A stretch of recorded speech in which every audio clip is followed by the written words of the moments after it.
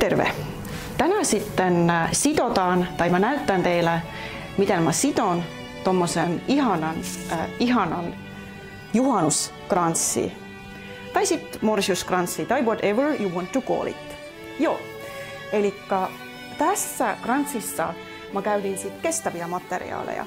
Esimerkiksi tämä ikiviuhko, eli limonium latinaksi, missä on ihana, ihana liila sävy ja myös tosi, tosi hyvä kuiva materiaali. Ja sitten tämmöistä ihanat, ihanat äh, harsokukka, eli tavallaan niin kuin morsiusharso, mutta ruukussa oleva. Sen takia, koska tämä on niin tuuhea ja hempeä. Ja siitä saa tosi kauniisti sitä muoto ja massa sitten siihen pääkranssiin. Ja sen kehikko mä punoon mun lempimateriaalit, kaikki ihanat, ihanat heinät. Ja tota, mm, näissä heinissä sitten tapahtui se, että mä punoon tavallaan niin kuin letti ja siihen väliin mä sitten punoon näitä erilaisia materiaaleja.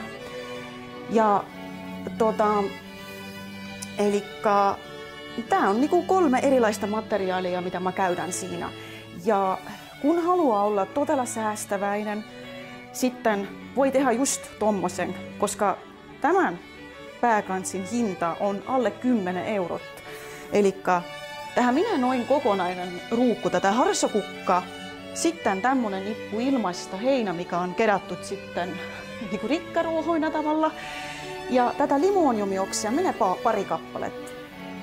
Ö, mutta sitten kun te haluatte tehdä sen unelman, unelman, ö, unelman tavalla niin kuin juhannuskranssi, mikä on se klassinen ja siis ehkä se paras tapa siinä. Sitten tota, kun te menette keräämään näitä mm, luonnonmateriaaleja, sitten ne kannattaa kerää niin kuin aamulla tai sitten illalla, koska silloin on se nestejännitys siinä luonnonmateriaalissa paras. Ja sitten kun jättää illalla vaikka kerää ja jättää yö yli maljakkoon kylmään, sitten se kukka imää täys sitä vettä.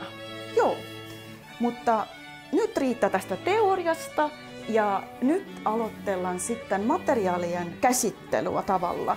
Eli näissä kransseissa kaikissa mm, kannattaa sitten etukäteen leikata tai pätki tavalla valmiiksi nämä osat, mitä mä liitän näiden, näiden heinien väliin. Eli tota, mä leikkaan tuommoiset palat, kaikki valmiiksi. Ja tota, uhuhu, nonni. Ja ehkä olisi nyt helpompaa siirtyä tämän kameran kanssa sinne sitontapöydällä ja mä haluan näyttämään, miten mä sen teen. Joo, yes, kiitos. Joo. Nyt sitten materiaaleja pätkimään. Joo. Eli leikataan ihan rohkeasti tästä vähän valkoista harso. Ja sitten leikataan tästä tätä liilan väristä myös.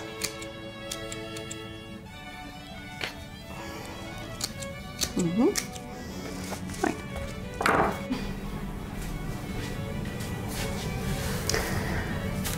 Joo, eli tässä sitten nämä heinät. Ja tämä on se kokonainen määrä, mitä mä käytän siellä sitten punontassa. Ja ihan aloitetaan näin. Kolmella ensimmäisellä. Mm-hmm. Ihan yhtä samalla tavalla kun punotan kuin letti.